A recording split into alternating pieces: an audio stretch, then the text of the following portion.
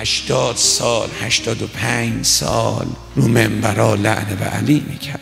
چه تهمت ها که به علی نزدن چه حرفا که براش نگفتن چه توهینا که نکردن. ابن عباس میگه من دیدم علی ابن ابی طالب خاصف و نعل بود. نشسته بود داشت این کفششو وصله می‌زد. ابن عباس میگه به به قول خودمون گفت به رسول الله قسم به خدای اعاد نگاه کردم به کفش علی دیدم جا وصله هم دیگه نداره. بعد به حضرت گفتم آقا سلام علیکم. حالتون چطوره؟ حضرت یه نگاهی کرد من ابن عباس توی گفتم آقا عجب روزگاری. حضرت فرمود که نه عباس اگر تمام مردم عالم فوش به علی بدن و لن به علی بکنن من اصلا برام مهم نیست. چون خودم پیش وجدان خودم می‌دونم کیم و چه کرده. درود مردم و مرگ مردم مهم نیست.